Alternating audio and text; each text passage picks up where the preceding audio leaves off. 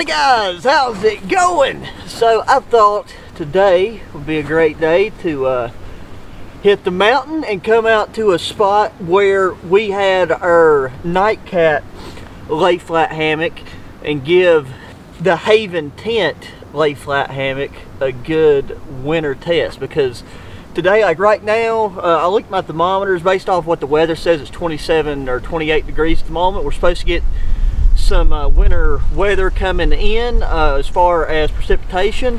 One to three inches. It's been like wind snowing just blowing some really light stuff around. So that's why I wanted to hurry and get this set up. I brought a smaller tarp with me but I would prefer to avoid having to set it up because the way the trees and stuff are spaced out here uh, there's not really a great way and there's so much like thick laurels that'd be kind of difficult. I did bring a Mission Mountain chair with me just to take up space in that backpack. And uh, for any of you that are curious, that's the TT uh, Tasmanian Tiger uh, load-bearing frame with the uh, the pack that is designed for it. And I got to put gloves on and put this BaerSkin fleece because hiking in and moving around, Jesus, sorry about this. I'm gonna have to just play around with adjusting this tarp because the tension changes when you actually get in the hammock. But I've just got on a moisture wick wicking uh, Windrider sun shirt and like hiking in being warm but now the wind's picked up.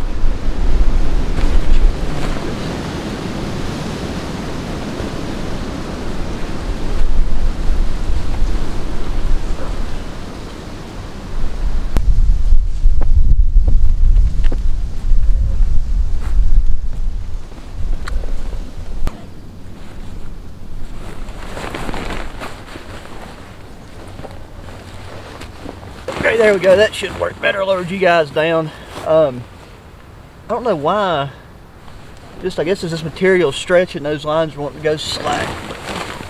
This is only the second time I have set up and will be using the Haven tent. I brought that foam pad with me, and I think what I was in the middle of saying is that a Tasmanian Tiger load-bearing pack, it looks like I've brought everything including the kitchen sink but all that's in there at the very bottom is that Lucky Sheep uh, wool sleeping bag. Uh, if you watched the last video we used it in our wall tent.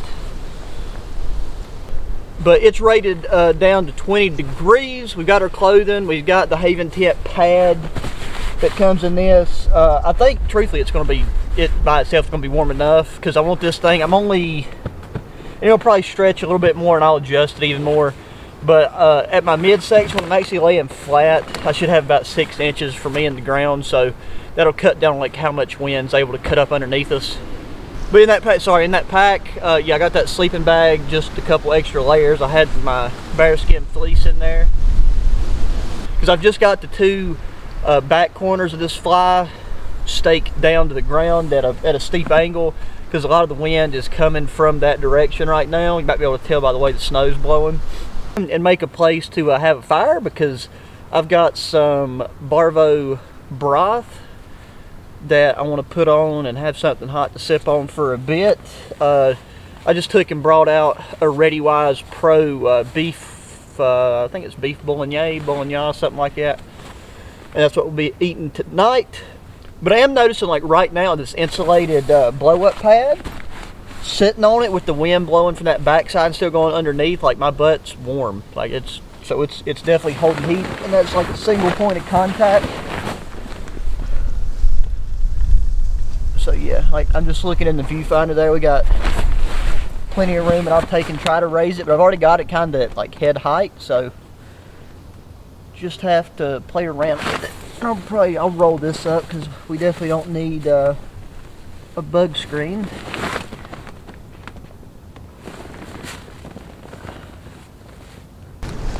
Okay, so it's getting a lot breezier, but I got a fire pit put together and I got the large rocks right here on this back end and that's the direction the wind seems to be coming from.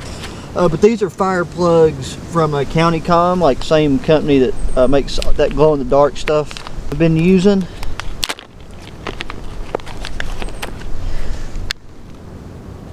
And these seem very, very dense, kind of like when you dip a cotton ball in paraffin wax and let it soak all the way through. That's good for waterproofness, but it does make them a little bit more difficult to work with.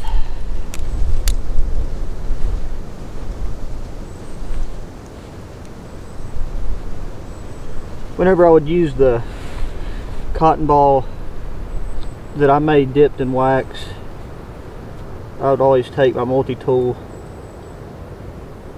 and use it just to kind of break it up and just pull some of the cotton out get more surface area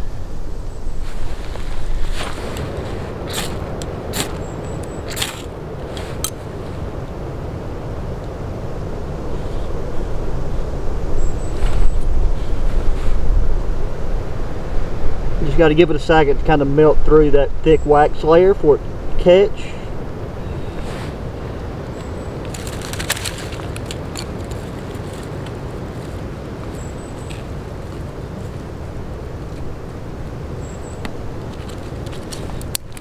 And since it's so dense, it should have a longer burn time. So that's why I'm throwing on some larger than uh, larger than usual sticks to start it with. Plus these was off the ground, so most of the stuff that's on there right there at the bottom's pretty dry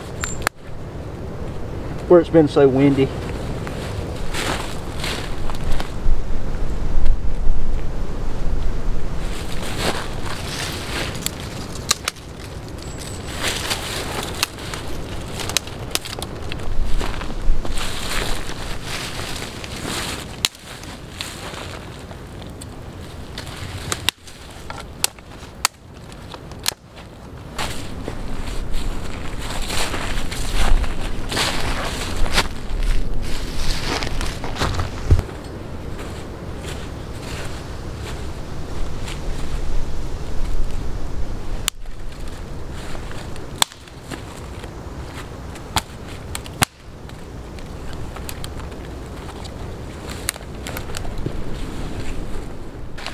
The wind is definitely picking up. Uh, I think it might have, it might be blowing this, uh, the storm we're supposed to be getting past us. It's showing right now that it's just moved down to a 50% chance, but uh, got the fire going. I just took and pushed everything down and get ready to put some water on to boil. This right here is what I'm gonna have right now. Uh, oh, it's called Bar Borvo broth or Barvo, one two. This is the beef and vegetable one, and it is my favorite. They have a chicken one, and it's not bad by any means but this one hands down is uh, my personal favorite.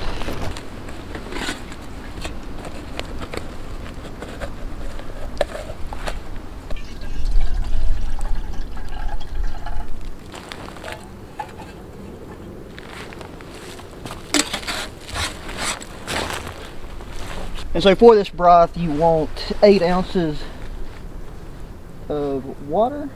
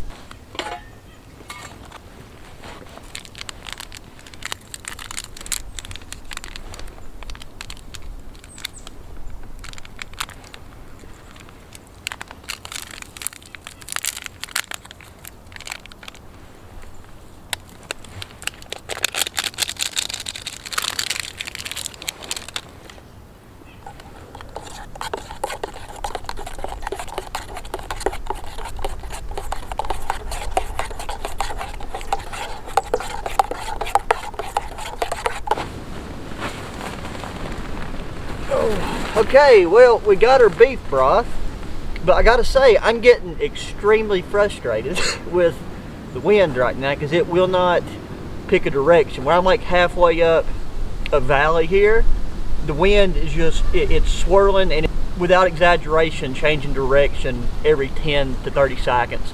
Uh, like, I can't do nothing around the fire. That's why I'm not screwing around with uh, putting, like opening up my Mission Mountain chair because I can't even stand 10 foot away and stay out of the smoke uh, for more than a minute working around it. So I'm, I'm probably gonna let it die out now and hope that the wind dies off later whenever we make our, uh, whenever we need to boil water for our meal, like to rehydrate it. Because I took and I unstaked the uh, the back of the rain fly here because this uh, Haven tent has toggles and stuff on the corner and then this elastic loop in the center to where you can fat, like essentially button the fly down and I thought that would be the best thing to do for the back since uh, the wind was just predominantly coming from my back direction. But then since it's switched uh, it's just swirling through and everything that I keep having I've tried setting the chair everything but my full backpack it's just catching the uh, the rain fly even with one flap open and the wind is just about like it's just dumping everything and like picking this uh, picking the ham hammock up and almost turning it a full 360 degrees unless I'm sitting in it. So I don't mind the wind when it like you know it picks a direction and sticks with it. But whenever it's doing this it's just it's not fun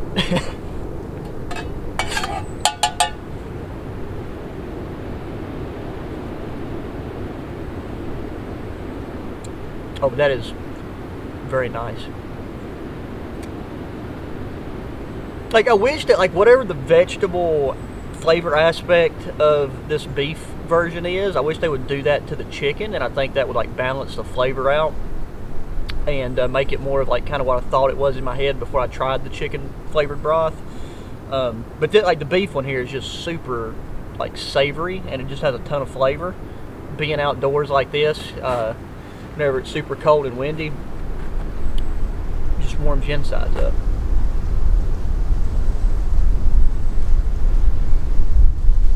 Guys, I'm going to take and do a bit more brainstorming on how exactly I want to configure uh, configure this. Uh, like tonight, whenever I'm laying in it, I might undo these guy lines that are running and making our awning here, and then also button them down but we'll see. I kind of like having one side open as long as the wind's, you know, not coming from that direction, just to have view and to, have really solid airflow. Because I know that I got more than enough, like, sleeping and, clothing with me to be warm regardless. Oh, there you go. That's what I'm talking about. Like, it wants to pick up that back end when it's not staked down and it's just a full like just the wind is at a 360 degree cycle right now.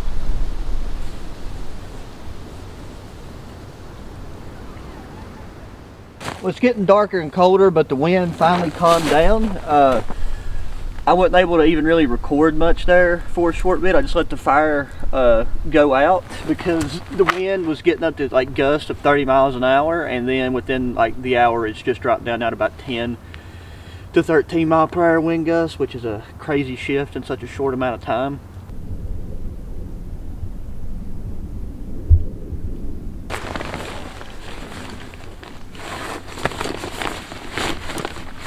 Still taking and just blowing uh, wind snow around.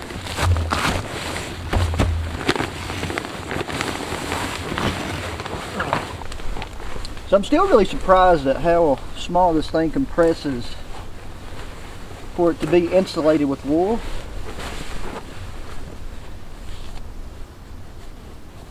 Go ahead and get our pillow situated too.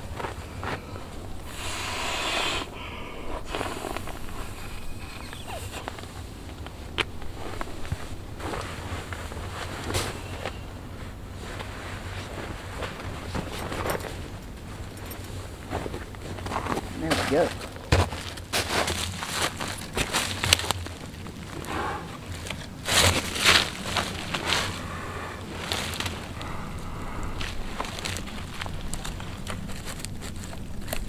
The important thing whenever you're uh, using the embers and stuff to start back, as long as stuff ain't wet, you just want your small sticks to be making direct contact or even, I've done it where you, I've started with like index finger size with hardly any coals to mention left over and you're good. And then I just start spreading things out around them, like some of these have ice on them. I'll just kind of set the outside so before I introduce any of that moisture near our main source of ignition. And you can start upgrading size pretty quickly.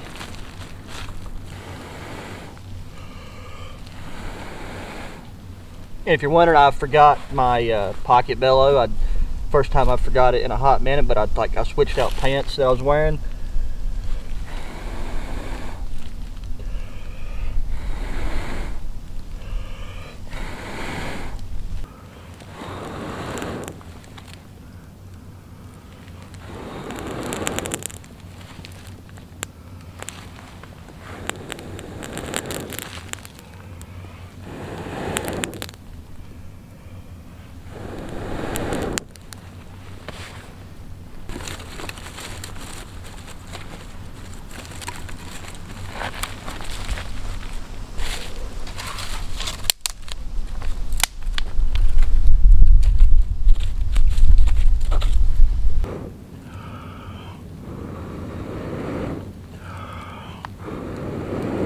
We go. Once you got that flame going, you're pretty much set. So I'm gonna finish adding this and get it going what we had it, and then uh, we'll get some water boiling and have ourselves a nice hot meal.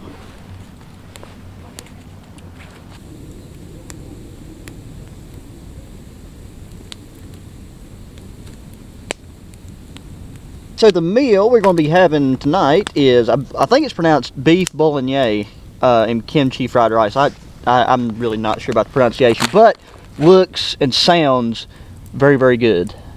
And for this one, we need 10 ounces of boiling water. So let's get that going because the fire's rocking and rolling now and the wind is doing what it's been doing.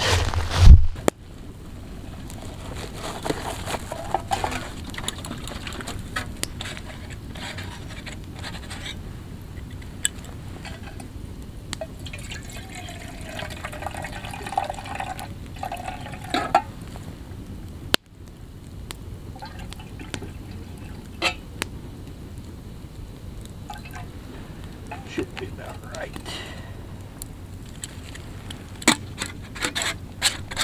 Yep, there it is. Mm-hmm.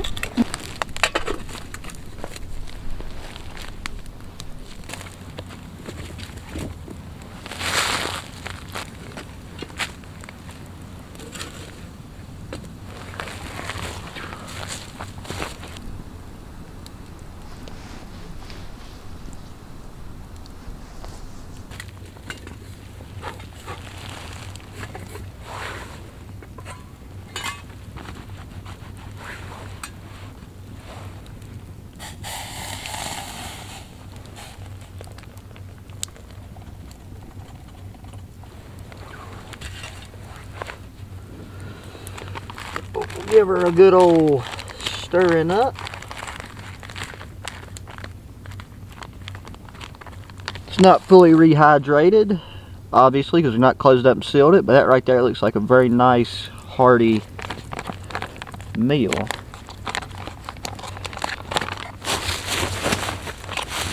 Alrighty, I'm gonna let that rehydrate and I'll see y'all back at the uh, put my headlamp around the uh, middle of the tripod, so hopefully that works. I knew otherwise I'd just be blinding y'all, but let's see how this meal turned out.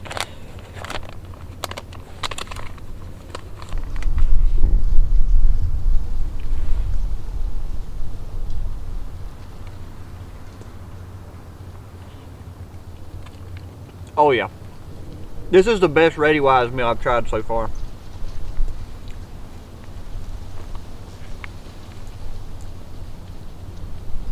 Mmm. Dang, bro, that's got a lot of really nice seasoning in it.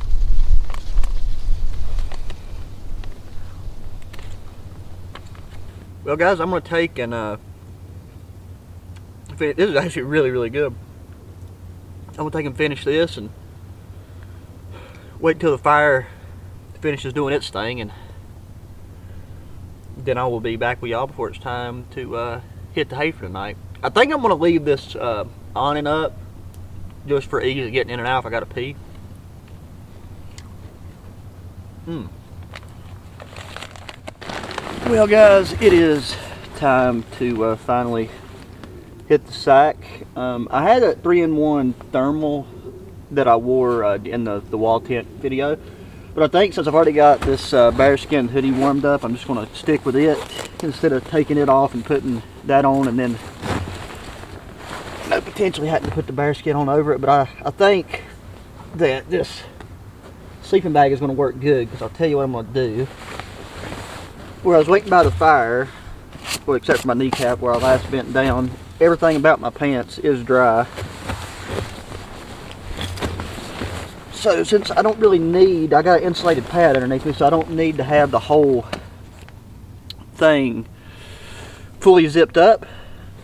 I do gotta say one thing I really love about this thing is it's got a million different pockets. I'm just gonna put this down there.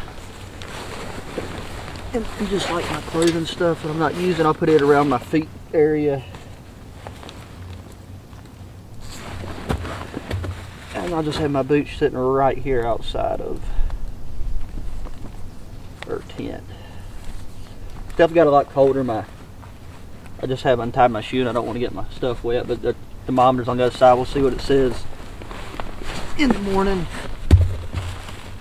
Beautiful thing about this sleeping bag is I can actually get in this with sweaty socks and it should still keep my feet completely warm and actually help dry my socks out because of uh, the wicking properties of it.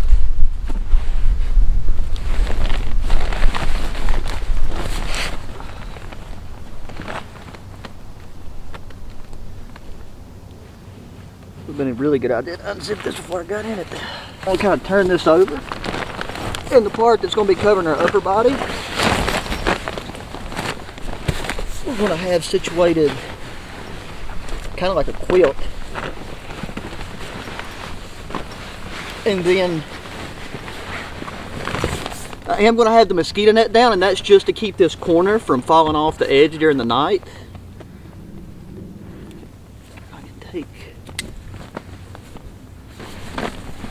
This over that. There we go. I can still have my little light here. Here. And this will just make sure that our quilt stays, uh, or this sleeping bag slash quilt will stay on top of us. And then I've got my legs from the knee down zipped up underneath. And then I can still have my head underneath this and get the uh, the wicking properties from it. So I'm gonna leave my toboggan on. Oh. But I, I mean, I already know after that first night that we spent in this hammock, it's nothing but a hundred levels of comfort. We're still good, plenty of distance off the ground. But yeah, guys, I'm gonna take and, and get cozy, and I will talk to y'all in the morning with an update, and hopefully the wind isn't uh, beating us down in the morning.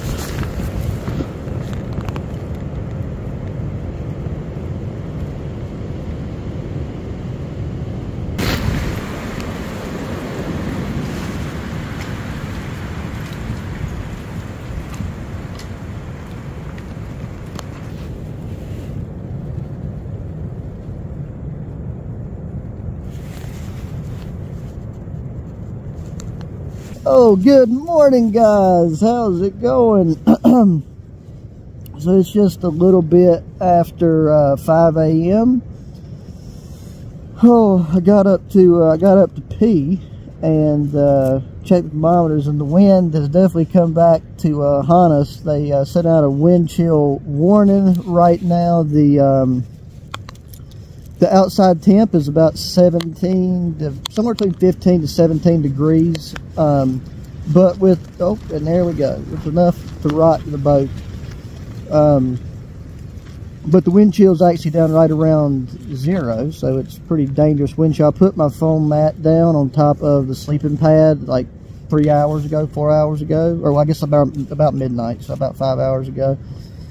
Um, I'll tell you one thing, as soon as you get up to go pee with that cold wind, uh, that's one way, it's like a cold plunge to wake you up. But I will say this, I'm extremely impressed with this sleeping bag. It's rated down to 20. I still, I put, like when I got to pee, I put my smock and stuff on. I did leave my boots on and I unzipped this whole thing to uh, serve as a quilt and just tucked the ends under and left the end closed and I got my boots pressed against it. And it's like 60 some degrees in here uh, when I last looked at the thermometer. I'm really glad I put this glow thing on here because it does make it really easy to find. Since we're shielded from uh, most of the wind, like like 70% of it is coming from the direction where I have the fly down, but it's still doing that whole 360 wraparound crap. Um, but yeah, and like with the wind going underneath, the insulating pad was that like the blow up insulated pad was doing decent, but it, you start you did it did start to seep through. But with this uh, closed cell foam on top of it, and where the closed cell foam has this like more of a reflective silver top to it, um, I'm really glad that I brought that.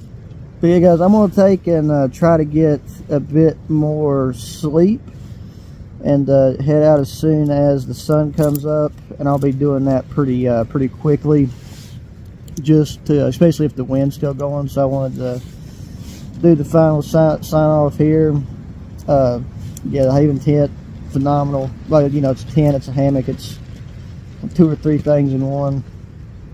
Um, but I'm looking forward to taking this uh, sleeping bag on a bushcraft out and uh, hopefully pretty soon. So anyways, as always guys, I really appreciate taking time to watch the video. Please make sure you hit that thumbs up button. Subscribe if you haven't already. Share the channel with your friends, family, anybody enjoys good old outdoor activities and gear. If you're interested in any of the gear that I've used in this video or any of my other ones, always make sure you look down at the video description because that is where uh, I try to link to everything that's still available on the internet that I use.